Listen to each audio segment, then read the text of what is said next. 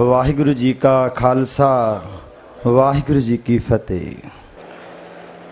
ਸਚਾਰ ਮਨੁੱਖ ਦੀ ਘਾੜਤ ਲਈ ਵਿਦਿਅਕ ਸੰਸਥਾਵਾਂ ਦੀ ਭੂਮਿਕਾ ਵਿਸ਼ੇ ਤੇ ਆਯੋਜਿਤ ਕੀਤੀ ਜਾ ਰਹੀ ਇਸ ਅੰਤਰਰਾਸ਼ਟਰੀ ਵਿਦਿਅਕ ਕਾਨਫਰੰਸ ਦੌਰਾਨ ਅਸੀਂ ਮਹੱਤਵਪੂਰਨ ਵਿਚਾਰਾਂ ਵਿੱਚ ਪ੍ਰਵੇਸ਼ ਕਰ ਚੁੱਕੇ ਹਾਂ। ਕੱਲ ਦੇ ਸੈਸ਼ਨਾਂ ਦੌਰਾਨ ਅਸੀਂ ਅੱਧਾ ਪੈਂਡਾ ਸਫਲਤਾ ਸਹਿਤ ਤੈਅ ਕਰ ਲਿਆ ਹੈ।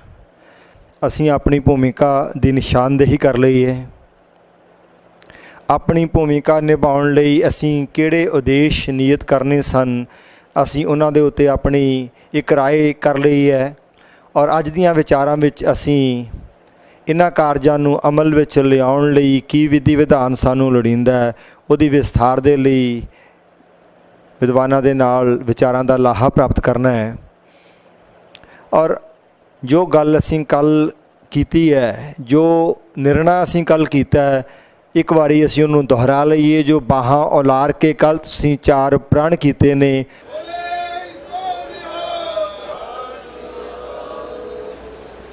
ਮੈਂ ਇੱਕ ਵਾਰੀ ਸਾਰੇ ਡੈਲੀਗੇਟ ਸਹਿਬਾਨ ਨੂੰ ਬੇਨਤੀ ਕਰਾਂਗਾ ਕਿ ਆਪਣੀਆਂ ਸੁਰਤੀਆਂ ਇਕਾਗਰ ਕਰਕੇ ਉਹ ਸਮਾਂ, ਉਹ ਇਤਿਹਾਸਿਕ ਸਮਾਂ ਜਦੋਂ ਤੁਸੀਂ ਪ੍ਰਮਾਤਮਾ ਨੂੰ ਹਾਜ਼ਰ ਨਾਜ਼ਰ ਜਾਣ ਕੇ ਚਾਰ ਕੰਮ ਕਰਨ ਦੇ ਲਈ ਸਾਰਿਆਂ ਨੇ ਇੱਕ ਰਾਏ ਤਿਆਰ ਕੀਤੀ ਸੀ, ਉਹਦਾ ਇੱਕ ਵਾਰ ਆਪਣੇ ਮਨ ਵਿੱਚ ਉਹ ਸੰਕਲਪ ਨੂੰ ਦ੍ਰਿੜ ਕਰ ਲਈਏ, ਉਸ ਨਿਰਣੇ ਨੂੰ ਦ੍ਰਿੜ ਕਰ ਲਈਏ, ਇਸ ਤੋਂ ਪਹਿਲਾਂ ਕਿ ਅਸੀਂ ਅੱਜ ਦੀਆਂ ਵਿਚਾਰਾਂ ਵਿੱਚ ਅੱਗੇ ਵਧੀਏ।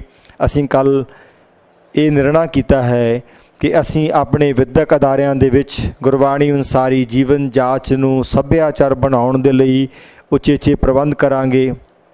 ਵਿਦਿਆਰਥੀਆਂ ਦੇ ਨਾਲ ਨਿਰੰਤਰ ਰਾਬਤਾ ਬਣਾ ਕੇ ਉਹਨਾਂ ਨੂੰ ਗੁਰਬਾਣੀ ਅਨੁਸਾਰੀ ਜੀਵਨ ਜਾਚ ਦ੍ਰਿੜ ਕਰਵਾਉਣ ਦੇ ਲਈ ਜੀਵਨ ਕਣੀਆਂ ਭਰਪੂਰ ਪੁਸਤਕਾਂ ਨੂੰ ਆਪਣੇ ਸਿਲੇਬਸ ਦਾ ਸ਼ਿੰਗਾਰ ਬਣਾਵਾਂਗੇ। ਦੂਸਰਾ ਪ੍ਰਣ ਅਸੀਂ ਇਹ ਕੀਤਾ ਹੈ ਕਿ ਸਾਡੇ ਵਿਦਿਅਕ ਅਦਾਰਿਆਂ ਵਿੱਚ ਅਵਲ ਅਤੇ ਹੋਣਹਾਰ ਵਿਦਿਆਰਥੀਆਂ ਦੀ ਨਿਸ਼ਾਨਦੇਹੀ ਕਰਕੇ ਉਹਨਾਂ ਨੂੰ ਸਚਾਰ ਮਨੁੱਖ ਵਜੋਂ ਪ੍ਰਫੁੱਲਤ ਕਰਨ ਦੇ ਲਈ, ਜ਼ਿੰਮੇਵਾਰ ਇਮਾਨਦਾਰ ਕਿਰਤ ਸੱਭਿਆਚਾਰ ਦੀ ਸਥਾਪਨਾ ਕਰਨ ਦੇ ਲਈ ਅਸੀਂ ਇਹਨਾਂ ਅਵਲ ਔਰ ਹੋਣਹਾਰ ਵਿਦਿਆਰਥੀਆਂ ਦੀ ਵਿਸ਼ੇਸ਼ ਸਿਖਲਾਈ ਕਰਾਂਗੇ। ਤੀਸਰਾ ਪ੍ਰਣ ਅਸੀਂ ਇਹ ਕੱਲ ਕੀਤਾ ਕਿ ਅਸੀਂ ਨਸ਼ਾ ਮੁਕਤ ਸਮਾਜ ਦੀ ਸਿਰਜਣਾ ਕਰਨ ਦੇ ਲਈ ਆਪਣੇ ਵਿਦਿਆਰਥੀਆਂ ਨੂੰ ਇਹਨੇ ਤਿਆਰ ਕਰਾਂਗੇ ਕਿ ਉਹ ਕਿਸੇ ਵੀ ਐਸੇ ਸਮਾਗਮ ਦੇ ਵਿੱਚ ਸ਼ਮੂਲੀਅਤ ਨਾ ਕਰਨ ਜਿੱਥੇ ਨਸ਼ਿਆਂ ਦੀ ਵਰਤੋਂ ਹੁੰਦੀ ਹੋਵੇ।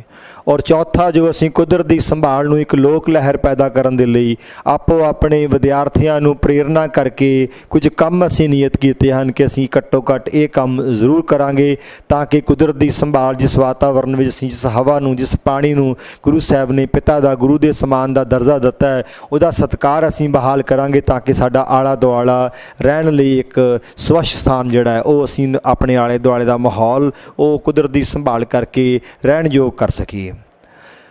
ਤੇ ਅੱਜ ਦੀਆਂ ਵਿਚਾਰਾਂ ਪ੍ਰਾਰੰਭ ਕਰਨ ਤੋਂ ਪਹਿਲਾਂ ਅਸੀਂ ਇਸ ਵਿਸ਼ਵਾਸ ਨਾਲ ਬੈਠੇ ਹਾਂ ਕਿ ਤੁਸੀਂ ਕਿਸੇ ਮਜਬੂਰੀ ਬਸ ਜਾਂ ਕੋਈ ਬੱਦਾ ਚੱਟੀ ਨਹੀਂ ਭਰ ਰਹੇ, ਸਗੋਂ ਤੁਹਾਡੇ ਸਾਰਿਆਂ ਦੇ ਅੰਦਰ ਇੱਕ ਚਾਹ ਹੈ, ਇੱਕ ਵਿਉਂਤਬੰਦੀ ਕਰਨ ਦਾ, ਇੱਕ ਨਵਾਂ ਉਤਸ਼ਾਹ, ਨਵਾਂ ਚਾਹ ਅੱਜ ਦੇ ਸੈਸ਼ਨਾਂ ਵਿੱਚੋਂ ਪ੍ਰਾਪਤ ਕਰਨ ਦਾ ਕਿ ਇਹ ਚਾਰ ਉਦੇਸ਼ਾਂ ਦੀ ਪੂਰਤੀ ਦੇ ਲਈ ਅਸੀਂ ਲਾਮਬੰਦ ਹੋ ਕੇ ਅੱਗੇ ਵਧ ਸਕੀਏ।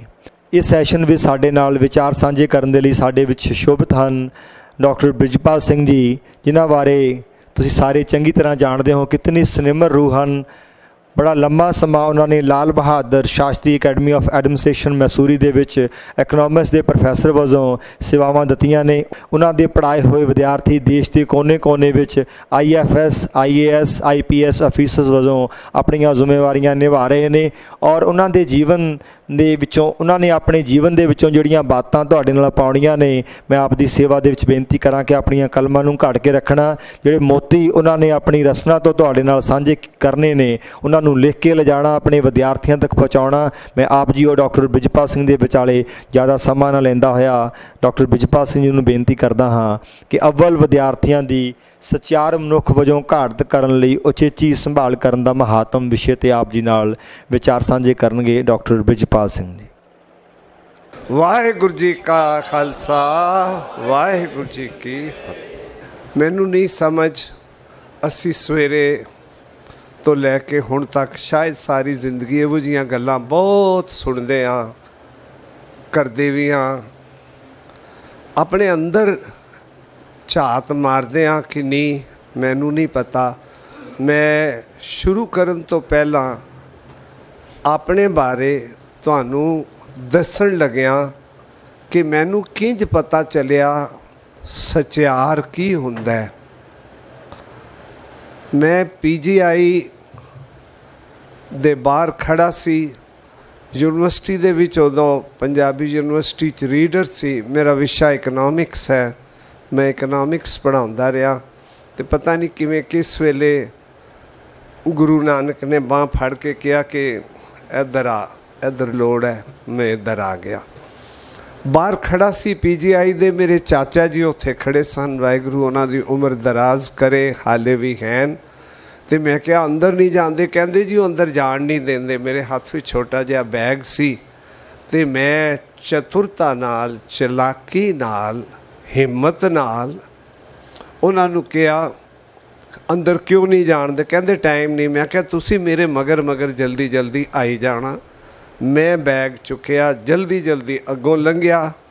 ਜਿਹੜਾ ਬੈਠਾ ਸੀ ਬਾਹਰ ਗੇਟ ਤੇ, ਉਹਨੂੰ ਮੈਂ ਕਿਹਾ, ਮੈਂ ਡਾਕਟਰ ਬ੍ਰਿਜਪਾਲ ਸਿੰਘ, ਪਟਿਆਲੇ ਤੋਂ ਆਇਆ, ਮਰੀਜ਼ ਦੇਖਣਾ 13 ਨੰਬਰ ਵਾਰਡ 22 ਨੰਬਰ ਬੈੱਡ ਕਿੱਧਰ ਹੈ? ਉਹਨੇ ਕਿਹਾ, ਜੀ, ਇਧਰੋਂ ਤੋਂ ਐਂ ਚਲੇ ਜਾਓ ਮੈਂ ਚਲਾ ਗਿਆ ਜੀ, ਉਹ ਵੀ ਮੇਰੇ ਮਗਰ ਮਗਰ ਆ ਗਏ। ਅੰਦਰ ਵੜ ਕੇ ਮੈਂ ਹੋਰ ਚਲਾਕੀ ਨਾਲ, ਹੋਰ ਮਾਣ ਨਾਲ ਚਾਚਾ ਜੀ ਨੂੰ ਕਿਹਾ ਮੈਂ ਝੂਠ ਤਾਂ ਨਹੀਂ ਨਾ ਬੋਲਿਆ। ਮੈਂ ਡਾਕਟਰ ਬ੍ਰਿਜਪਾਲ ਸਿੰਘ ਆ ਠੀਕ ਹੈ। ਮੈਂ ਮਰੀਜ਼ ਨੂੰ ਦੇਖਣ ਆਇਆ, ਇਸ ਵਾਰਡ ਵਿੱਚ ਆਇਆ, ਇਹ ਕਰਨ ਆਇਆ। ਉਹ ਹੱਸ ਪਏ ਤੇ ਜੇ ਉਹਨਾਂ ਮੈਨੂੰ ਕਿਹਾ, ਉਹ ਮੇਰੇ ਅੰਦਰ ਇੱਕ ਦਰਦ ਦੀ ਲਹਿਰ ਛੱਡ ਗਿਆ। ਮੈਨੂੰ ਕਹਿੰਦੇ, ਬ੍ਰਿਜਪਾਲ, ਇਹ ਦੱਸ, ਤੂੰ ਸਿੱਖ ਗੁਰੂ ਨਾਨਕ ਦਾ ਕਿ ਕ੍ਰਿਸ਼ਨ ਮਹਾਰਾਜ ਦਾ ਮੈਂ ਆਖਿਆ ਜੀ ਗੁਰੂ ਨਾਨਕ ਦਾ। ਕਹਿੰਦੇ ਗੁਰੂ ਨਾਨਕ ਕੋਲ ਤਾਂ ਸੱਚ ਤੇ ਕੇਵਲ ਹੀ ਸੱਚ ਹੁੰਦਾ ਹੈ। ਉਹਦੇ ਵਿੱਚ ਚਲਾਕੀ ਨਹੀਂ ਹੁੰਦੀ ਉਹਦੇ ਵਿੱਚ ਧੋਖਾ ਨਹੀਂ ਹੁੰਦਾ ਉਹਦੇ ਵਿੱਚ ਹੇਰਾ ਫੇਰੀ ਨਹੀਂ ਹੁੰਦੀ ਮੇਰਾ ਮਨ ਉਦੋਂ ਦਾ ਅਸਥਿਰ ਹੋ ਕੇ ਫਿਰ ਵਾਪਸ ਆਉਂਦਾ ਹੈ ਕਿ ਪਾਤਸ਼ਾਹ ਮੈਨੂੰ ਨਹੀਂ ਪਤਾ ਰਾਹ ਵੀ ਕੀ ਹੈ। ਅੰਧੇਰੇ ਰਾਹ ਨਾ ਕੋਈ। ਹਾਂ ਪਹਾਲ ਵਿਕੁੰਨੀ ਹੋਈ, ਪਰ ਤੂੰ ਬਾਹ ਫੜ ਲੈ। ਇੱਕ ਡੀਜੀਪੀ ਰਿਟਾਇਰ ਹੋਏ ਨੇ ਪੰਜਾਬ ਤੋਂ ਆਈਪੀਐਸ ਆਫੀਸਰ, ਮੈਂ ਨਾਂ ਨਹੀਂ ਲੈ ਰਿਹਾ। ਉਹਨਾਂ ਦੇ ਉੱਪਰ ਵੱਡਿਆਂ ਦੇ ਵੀ ਵੱਡੇ ਕੰਮ ਹੁੰਦੇ ਨੇ, ਉਹਨਾਂ ਦੇ ਉੱਪਰ ਵੀ ਕੋਈ ਕੇਸ ਲੱਗ ਗਿਆ। ਉਹਨਾਂ ਦੀ ਫਾਈਲ ਦੇ ਵਿੱਚ ਲੱਗ ਗਿਆ, ਟੈਰਰਿਸਟ ਡੇਜ਼ ਦੇ ਵੇਲੇ ਦੀ ਗੱਲ ਹੈ ਕਿ ਇਹਨਾਂ ਨੂੰ ਪੰਜਾਬ ਤੋਂ 500 ਮੀਲ ਦੂਰ ਰੱਖਿਆ ਜਾਏ। ਉਹ ਪਰਿਵਾਰ ਵਾਲੇ ਸਨ। ਤੇ ਮੈਨੂੰ ਕਹਿੰਦੇ, ਮੈਂ ਬੜੀ ਕੋਸ਼ਿਸ਼ ਕਰਕੇ ਤੇ ਡਾਇਰੈਕਟਰ ਇੰਟੈਲੀਜੈਂਸ ਨਾਲ ਦਿੱਲੀ ਮੁਲਾਕਾਤ ਲਈ ਗਿਆ ਤੇ ਉਹਨਾਂ ਨੂੰ ਮੈਂ ਕਿਹਾ, ਜੀ, ਮੇਰੇ ਨਾਲ ਹੋ ਜ਼ਿਆਦਤੀ ਰਹੀ ਹੈ, ਇਹ ਮੇਰੀ ਫਾਈਲ ਪਈ ਹੈ। ਮੈਂ ਕਹਿਣਾ, ਇਹਨੂੰ ਤੁਸੀਂ ਇੱਕ ਵਾਰੀ ਪੜ੍ਹ ਲਓ, ਵੇਖ ਲਓ ਮੈਂ ਕਿੱਥੇ ਝੂਠ ਹਾਂ, ਕਿੰਨਾ ਸੱਚ ਹਾਂ। ਡਾਇਰੈਕਟਰ ਨੇ ਉਹ ਫਾਈਲ ਹੱਥ ਮਾਰੇ, ਇਹ ਮੈਂ ਉਹਨਾਂ ਦੇ ਹੱਥੋਂ, ਉਹਨਾਂ ਦੇ ਮੂੰਹ, ਉਹਨਾਂ ਦੇ ਘਰ ਬੈਠ ਕੇ ਗੱਲ ਸੁਣੀ ਹੋਈ ਹੈ। ਤੇ ਕਹਿੰਦੇ ਕਿ ਮੈਨੂੰ ਕਹਿੰਦੇ, ਸੁਣਦੇ ਸੁਣਦੇ, ਕਹਿੰਦੇ, ਅੱਛਾ, ਜੇ ਇਹਦੇ ਵਿੱਚ 60% ਵੀ ਸੱਚ ਹੈ, ਤਾਂ ਮੈਂ ਤੇਰੇ ਨਾਲ ਆ ਤੇ ਮੈਂ ਇੰਦਰਾ ਗਾਂਧੀ ਕੋਲ ਆਪ ਜਾ ਕੇ ਇਸ ਆਰਡਰ ਨੂੰ ਕੈਨਸਲ ਕਰਵਾਵਾਂਗਾ। ਕਹਿੰਦੇ, ਮੈਂ ਖੜਾ ਹੋ ਗਿਆ, ਉਹਨਾਂ ਦੇ ਚਰਨਾਂ ਦੀ ਧੂੜ ਦੇ ਬਰਾਬਰ ਮੈਂ ਹੋਵਾਂ। ਕਹਿੰਦੇ ਨੇ, ਮੈਂ ਕਿਹਾ, ਜੀ, ਸੱਚ ਸਿਰਫ 100% ਹੁੰਦਾ ਹੈ। 99% ਨਹੀਂ ਹੁੰਦਾ, ਉਹ ਵੀ ਝੂਠ ਹੈ। 60% ਨੇੜੇ ਹੀ ਨਹੀਂ ਹੁੰਦਾ। ਜੇ ਤੁਹਾਨੂੰ ਇਸ ਫਾਈਲ ਵਿੱਚੋਂ 99% ਵੀ ਸੱਚ ਮਿਲੇ, ਤਾਂ ਮੇਰੀ ਮਦਦ ਨਾ ਕਰਨਾ ਜਦ ਤੱਕ 100% ਨਾ ਹੋਵੇ। ਇਹ ਮੈਂ ਦੂਜੀ ਗੱਲ ਸੁਣੀ। ਮੇਰੇ ਪਿਆਰੇ ਵੀਰੋ, ਭੈਣੋ, ਛੋਟਿਓ, ਵੱਡਿਓ, ਅਸੀਂ ਇੱਕ ਬੜੇ ਸੀਰੀਅਸ ਕਾਰਜ ਲਈ ਇੱਥੇ ਬੈਠੇ ਹਾਂ। ਉਹ ਸੀਰੀਅਸ ਕਾਰਜ ਕੀ ਹੈ? ਉਸ ਦਾ ਬਹੁਤ ਵੱਡਾ, ਸਾਰੇ ਦਾ ਮੇਰਾ ਕਾਰਜ ਨਹੀਂ ਹੈ। ਤੁਸੀਂ ਬੜੇ ਵੱਡੇ ਵੱਡਿਆਂ ਤੋਂ ਬੜੀਆਂ ਵੱਡੀਆਂ ਵੱਡੀਆਂ ਗੱਲਾਂ ਸੁਣੀਆਂ ਨੇ ਹਾਲੇ ਸੁਣੋਗੇ। ਮੈਂ ਮੰਦ ਬੁੱਧੀ ਵਾਲਾ ਵਿੱਚ ਇੱਕ ਛੋਟੀ ਜਿਹੀ ਮੈਨੂੰ ਐਸਪੈਕਟ ਦਿੱਤਾ ਗਿਆ ਜਿਸ ਉੱਤੇ ਮੈਂ ਆਪਣੇ ਸਮੇਂ ਦੇ ਵਿੱਚ ਵਿੱਚ ਪੂਰਾ ਕਰਨ ਦੀ ਕੋਸ਼ਿਸ਼ ਕਰਨੀ ਹੈ ਕਿ ਜਿਹੜੇ ਅਤ ਲਾਇਕ ਵਿਦਿਆਰਥੀ ਨੇ ਜਿਹੜੇ ਹਾਈਲੀ ਐਕਸਟਰਾ ਆਰਡੀਨਰੀ ਮੈਰਿਟ ਵਾਲੇ ਸਟੂਡੈਂਟਸ ਨੇ, ਉਹਨਾਂ ਨੂੰ ਅਸੀਂ ਕਿਵੇਂ ਸੰਭਾਲੀਏ? ਇਹ ਟੌਪਿਕ ਹੈ, ਮੈਂ ਇਸੇ ਦੇ ਦੁਆਲੇ ਕੋਸ਼ਿਸ਼ ਕਰਾਂਗਾ, ਜੋ ਮੈਨੂੰ ਕਿਹਾ ਗਿਆ, ਉਹਦੇ ਵਿੱਚੋਂ ਰਹਾ।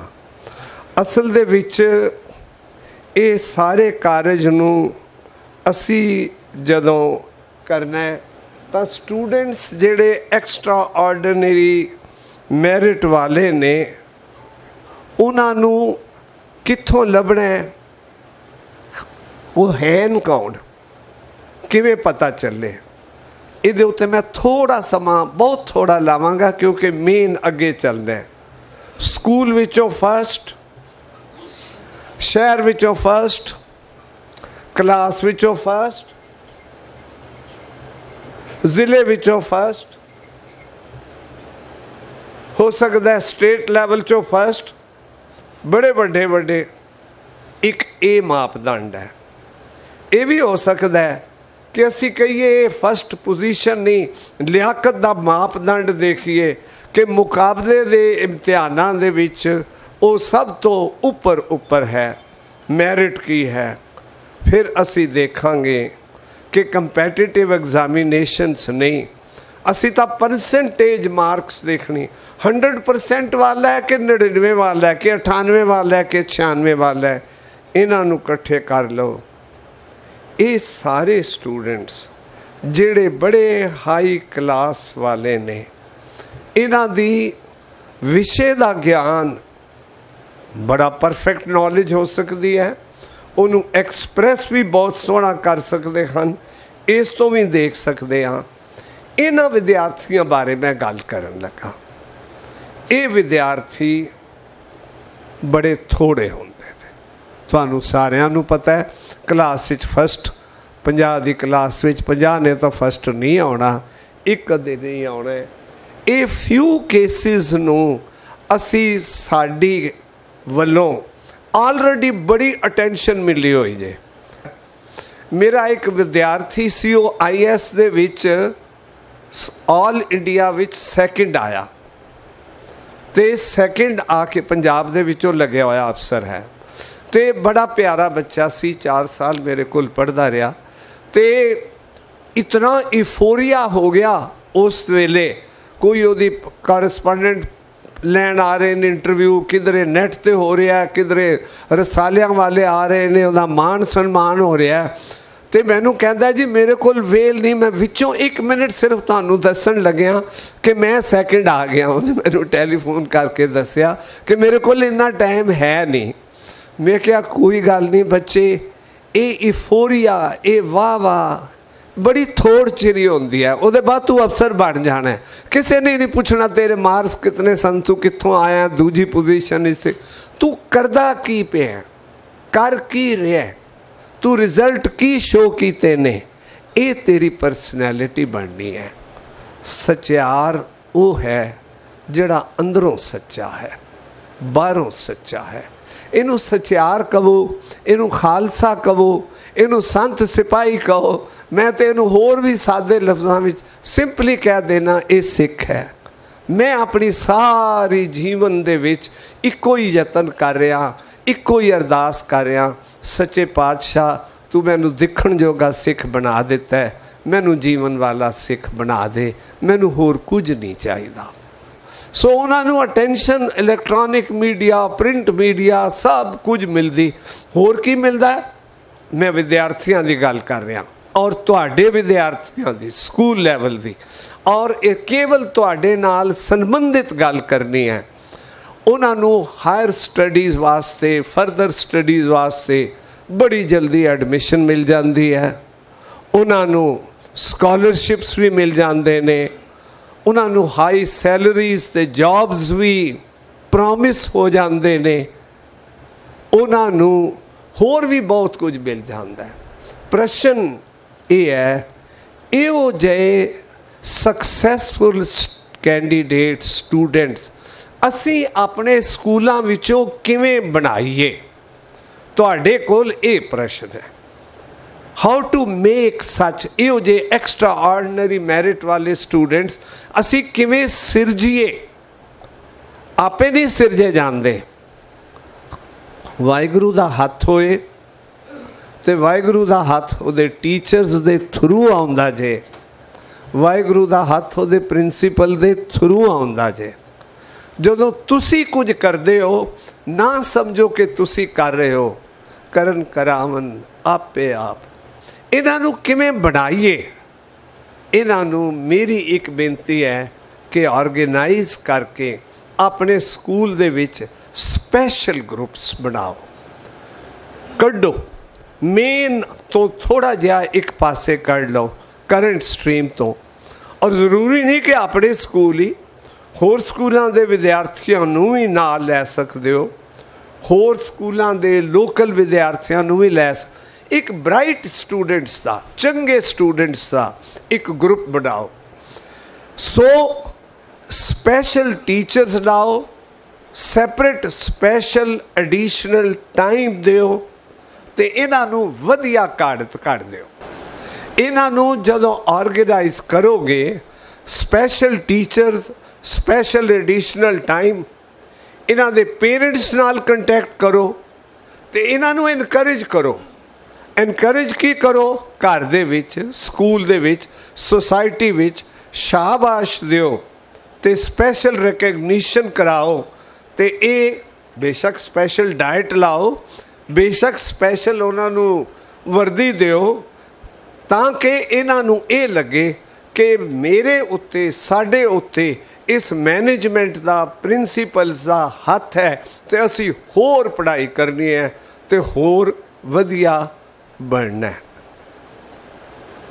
ਇਹਨਾਂ ਨੂੰ ਵੱਡੇ ਵੱਡੇ ਗੈਸਟ ਦੇ ਨਾਲ ਮਿਲਾਓ। ਇਹ ਬਹੁਤ ਵੱਡੇ ਬੰਦੇ ਆਏ ਨੇ, ਇਹਨਾਂ ਦੇ ਨਾਲ ਫੋਟੋ ਖਿਚਵਾਓ, ਇਹਨਾਂ ਦਾ ਸਕਾਟ ਡਿਊਟੀ ਲਾਓ, ਉਹਨਾਂ ਨੂੰ ਤਾਂ ਕਿ ਉਹਨਾਂ ਨੂੰ ਇਨਸਪੀਰੇਸ਼ਨ ਮਿਲੇ। ਇਹ ਸਾਰਾ ਕੁਝ ਕਰਕੇ ਉਹਨਾਂ ਨੂੰ ਸਪੈਸ਼ਲ ਟ੍ਰਿਪ ਤੇ ਲੈ ਜਾਓ ਐਜੂਕੇਸ਼ਨ ਵੱਲ ਲੈ ਜਾਓ, ਹੋਰ ਜਗ੍ਹਾ ਲੈ ਜਾਓ। ਤੁਸੀਂ ਸਾਰੇ ਕਹੋਗੇ, ਇਹ ਤੇ ਬਹੁਤ ਵਧੀਆ ਸਕੂਲ ਦੀ ਮੈਨੇਜਮੈਂਟ ਵਿੱਚ ਐਡਵਾਈਜ਼ਰੀ ਕਮੇਟੀ ਬਣਾ ਕੇ ਉਹਨਾਂ ਉੱਤੇ ਲਾ ਦਿਓ। ਉਹਨਾਂ ਨੂੰ ਰੈਕਗਨੀਸ਼ਨ ਜਦੋਂ ਮਿਲੇਗੀ, ਤਾਂ ਹੋਰ ਸਟੂਡੈਂਟਸ ਨੂੰ ਵੀ ਇਨਸਪੀਰੇਸ਼ਨ ਮਿਲੇਗੀ ਅਜਿਹਾ ਬਣਨ ਦੀ। ਪਟਿਆਲੇ ਇੱਕ ਬੁੱਢਾ ਦਲ ਪਬਲਿਕ ਸਕੂਲ ਹੈ, ਉਹਦੇ ਵਿੱਚ ਮੈਰਿਟ ਦੇ ਵਿੱਚ ਜਿਹੜਾ ਸਟੂਡੈਂਟ ਫਸਟ ਆਉਂਦਾ ਹੈ 2 ਸਾਲ 3 ਸਾਲ ਉਹਦਾ ਸਪੈਸ਼ਲ ਕੋਟ ਬਣਿਆ ਹੋਇਆ ਹੁੰਦਾ ਔਰ ਉਹਨਾਂ ਨੂੰ ਮਿਲਿਆ ਹੁੰਦਾ ਸਕੂਲ ਵੱਲੋਂ। ਉਹ ਜਿੱਥੇ ਜਾਏ ਦੂਰੋਂ ਪਤਾ ਚੱਲ ਜਾਂਦਾ ਵੀ ਇਹ 골ਡ ਲਾਈਨਿੰਗ ਵਾਲਾ ਸਟੂਡੈਂਟ ਹੈ। ਇਹ ਆਪਣੀ ਕਲਾਸ ਵਿੱਚ ਕਿਧਰੇ ਨਾ ਕਿਧਰੇ ਉਹਨੂੰ ਜਾਣੋ ਨਾ ਜਾਣੋ ਕਿ ਇਹ ਬਹੁਤ ਵਧੀਆ ਬੰਦਾ ਹੈ। ਲੇਕਿਨ ਮੇਰੀ ਗੱਲ ਇੱਥੋਂ ਥੋੜਾ ਹੋਰ ਮੋੜ। ਮੈਂ ਇਸ ਨੂੰ ਕੁਐਸਚਨ ਕਰ ਰਿਹਾ। ਤੁਸੀਂ ਸਾਰੇ ਤੇ ਮੈਂ ਆਪਣੇ ਧੀਆਂ ਪੁੱਤਰਾਂ ਨੂੰ ਇਹੋ ਜਿਹਾ ਬਣਾਉਣਾ ਚਾਹੁੰਦੇ ਆ। ਬਣਾਉਂਦੇ ਹੋ। ਤੇ ਕਹਿੰਦੇ ਹੋ ਬੜਾ ਕਾਮਯਾਬ ਹੈ ਜੀ। ਇਹ ਦੇਖੋ ਜੀ 98% ਨੰਬਰ ਲਿਆ ਹੈ। ਇਹਨੂੰ ਜੀ ਇਨਫੋਸਿਸ ਤੋਂ ਆਫਰ ਆ ਗਈ ਹੈ। ਇਹਨੂੰ ਟਾਟਾ ਟਿਸਕੋ ਫਿਸਕੋ ਵਾਲਿਆਂ ਨੇ 50000 ਤਨਖਾਹ ਦੀ ਆਫਰ ਕੀਤੀ ਹੋਈ ਹੈ। ਤੇ ਅਸੀਂ ਵੀ ਜਿਹੜਾ ਕੋਈ ਮਿਲੇ ਉਹਨੂੰ ਕਹਿਣਾ ਮਹਾਰਾਜ ਦੀ ਬੜੀ ਕਿਰਪਾ ਜੀ, ਇਹ ਮੁੰਡਾ ਤਾਂ ਹਮੇਸ਼ਾ ਹੀ ਕਾਮਯਾਬ ਹੈ ਤੇ ਕਾਮਯਾਬ ਹੀ ਰਹੇਗਾ। ਮੈਂ ਇਸ ਦੇ ਉੱਤੇ ਕੁਐਸਚਨ ਮਾਰਕ ਕੀ ਸਕਸੈਸ ਤੇ ਮੈਰਿਟ ਇਹੀ ਹੈ ਜੋ ਹੁਣ ਮੈਂ ਕਿਹਾ ਕਿਧਰੇ ਇਹ ਤਾਂ ਨਹੀਂ ਕਿ ਪੜ੍ਹਾਈ ਕਰਦੇ ਕਰਦੇ ਉਹਨਾਂ ਦਾ ਕੁਬ ਨਿਕਲ ਗਿਆ। ਗੋਡੇ ਦਰਦ ਕਰਦੇ ਨੇ, ਅੱਖਾਂ ਦਰਦ ਕਰਦੀਆਂ ਨੇ, ਐਨਕਾਂ ਦੇ ਨੰਬਰ ਵੱਧਦੇ ਜਾ ਰਹੇ ਨੇ। ਪੜ੍ਹਾਈ ਕਰਦੇ ਨੇ, ਰੋਟੀ ਪਚਦੀ ਨਹੀਂ, ਪੇਟ ਖਰਾਬ ਰਹਿੰਦਾ ਖਿਆਲ ਰੱਖ ਲੈਣਾ, ਇਸ ਪਾਸੇ ਨਾ ਜਾਣ ਦੇਣਾ, ਰੋਕ ਲੈਣਾ, ਇਹਦਾ ਮਤਲਬ ਹੈਲਥ ਵੀ ਕੋਈ ਚੀਜ਼ ਹੁੰਦੀ ਹੈ। ਪਰ ਇਹ ਤੇ ਬੜੀ ਛੋਟੀ ਗੱਲ ਹੈ।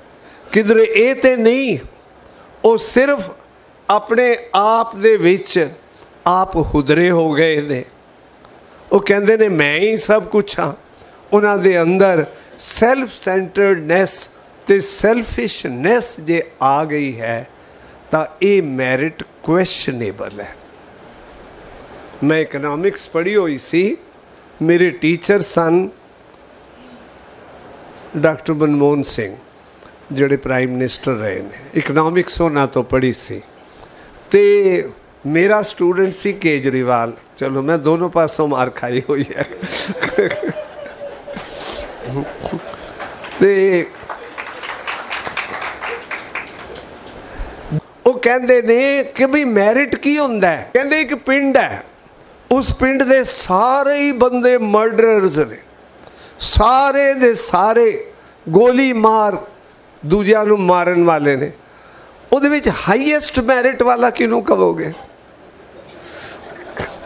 ਕਹਿੰਦੇ ਜਿਹਨੇ ਸਭ ਤੋਂ ਜ਼ਿਆਦਾ ਬੰਦੇ ਮਾਰੇ ਨੇ, ਉਹ ਸਾਰੇ ਕਹਿਣਗੇ ਵੀ ਆ ਦੇਖੋ ਜੀ ਸਾਡਾ ਇਹ ਵੀਰ ਪੁੱਤਰ, ਇਹ 200 ਨੂੰ ਮਾਰ ਕੇ ਬੈਠਾ ਹੋਇਆ, ਹਾਲੇ ਤੱਕ ਫੜਿਆ ਹੀ ਨਹੀਂ ਗਿਆ। ਇਹ ਮੈਰਿਟ ਨਹੀਂ ਹੈ।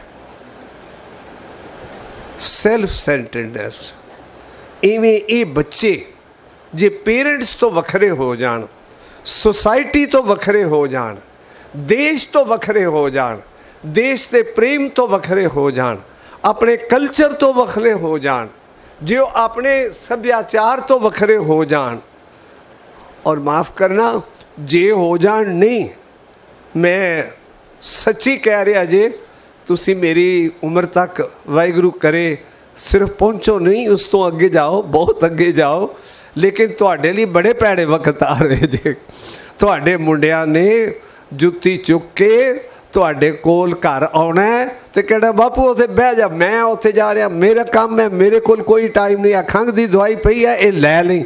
ਨਹੀਂ ਤਾਂ ਨਰਸ ਲਾ ਦੂੰਗਾ ਉਹ ਆਪੇ ਕਰਦੀ ਰਹੇਗੀ। ਅਸੀਂ ਜੇ ਉਹਨਾਂ ਨੂੰ ਵੈਲਿਊਜ਼ ਨਹੀਂ ਦਿੱਤੀਆਂ, ਜੇ ਅਸੀਂ ਉਹਨਾਂ ਨੂੰ ਮੋਰੈਲਿਟੀ ਨਹੀਂ ਦਿੱਤੀ, ਜੇ ਅਸੀਂ ਕਲਚਰ ਨਹੀਂ ਦਿੱਤਾ, ਤਾਂ ਉਹਨਾਂ ਦੀ ਪੜ੍ਹਾਈ, ਉਹਨਾਂ ਦੀ ਸਕਸੈਸ ਚੰਗੀ ਨਹੀਂ। ਕਿਵੇਂ? ਮੈਂ ਪ੍ਰੈਕਟੀਕਲ ਤੁਹਾਡੇ ਤੋਂ ਪਹੁੰਚੇ ਰਹਿਣਾ ਹੈ। ਫਿਰ ਇਹਨੂੰ ਕੀ ਕਰੀਏ? ਮੈਨੂੰ ਬਾਹਰ ਗੁਰੂ ਦੇ ਬਖਸ਼ੇ ਗੁਰਨੈਬ ਸਿੰਘ ਜੀ ਮਿਲ ਗਏ। ਮੈਂ ਕਿਹਾ, ਵਾਹ ਜੀ ਵਾਹ, ਅਸੀਂ ਤਾਂ ਨੈਬ ਤਹਿਸੀਲਦਾਰ ਸੁਣੇ ਹੋਏ ਸਨ। ਮੈਨੂੰ ਕਹਿੰਦੇ ਨੇ, ਰੋਟੀ ਖਾਂਦੇ ਖਾਂਦੇ ਇਹ ਹੋ ਗਿਆ, ਇਹ ਮਾੜਾ ਹੋ ਗਿਆ। ਮੈਂ ਕਿਹਾ, ਜੀ ਉਹ ਠੀਕ ਠੀਕ ਠੀਕ, ਕਰੀਏ ਕੀ? ਕਹਿੰਦੇ, ਬਸ ਇਹ ਵੀ ਗਲਤ ਨੇ। ਮੈਂ ਕਿਹਾ, ਨਹੀਂ ਜੀ, ਅਸੀਂ ਕਰੀਏ ਕੀ? ਕੁਐਸਚਨ ਇਹ ਨਹੀਂ ਕਿ ਆਵਾ ਊਤ ਗਿਆ। ਕੁਐਸਚਨ ਇਹ ਨਹੀਂ, ਸਾਰੇ ਭੈੜੇ ਹੋ ਗਏ ਕੁਐਸਚਨ ਇਹ ਨਹੀਂ, ਸੰਸਥਾਵਾਂ ਮਾੜੀਆਂ ਹੋ ਗਈਆਂ ਮੇਰੇ ਕੋਲ ਕੁਐਸਚਨ ਇਹ ਹੈ ਕਿ ਇਹਨੂੰ ਹੁਣ ਟੈਕਲ ਕਿਵੇਂ ਕਰਨਾ ਇਹਨਾਂ ਪ੍ਰੋਬਲਮਸ ਨੂੰ ਕਿਵੇਂ ਉਹਨਾਂ ਨੂੰ ਇੰਜ ਬਣਾਈਏ ਕਿ ਉਹ ਤੁਹਾਡੇ ਲਈ, ਤੁਹਾਡੀ ਬਜ਼ੁਰਗੀ ਲਈ, ਮੇਰੇ ਗੁਰੂ ਲਈ, ਤੁਹਾਡੇ ਲਈ ਉਹ ਅਸਲੋਂ ਸਚਿਆਰ ਹੋਣ। You have come for a very serious purpose. Let us tackle that problem ਕਿ ਇਹਨੂੰ ਕਿਵੇਂ ਅਸੀਂ ਲਈਏ। ਇੱਕ ਤਰੀਕਾ ਇਹ ਹੈ ਕਿ ਬਾਕੀ ਪੜ੍ਹਾਈਆਂ ਤੇ ਉਹ ਕੰਮ ਕਰਨ ਦੇ ਨਾਲ ਨਾਲ